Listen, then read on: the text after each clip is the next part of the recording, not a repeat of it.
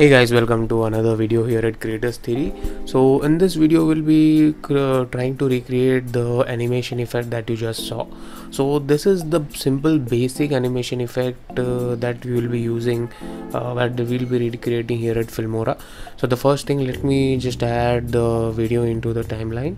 Uh, let's match it uh, with the media. So so this is just a basic effect. Uh, so once i have done a media so you can directly just do it with the title but i would like to have a little background. So that's why i've added this video. So once i'm done with that i will go to titles and in under titles i will go to titles. And here i will drag one default title. So make sure the title is in above layer above the video so that you can see the title. So once this is added let me just double click and uh, change the content.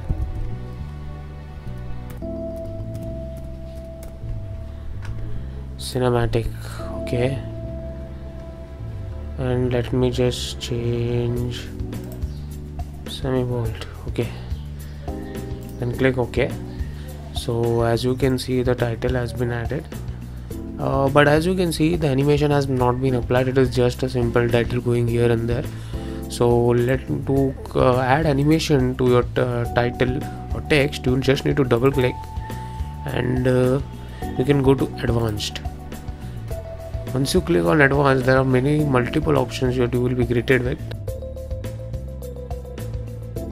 So first let me just uh, create go to animations over here.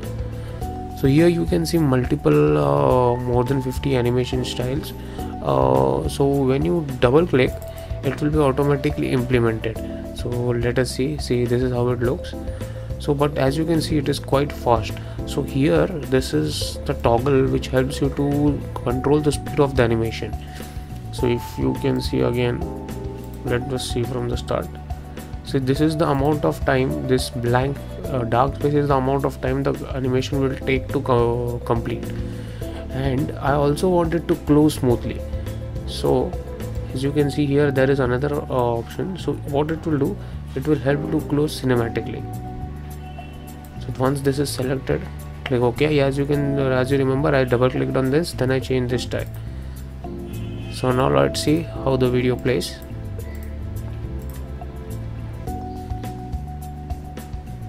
Yes.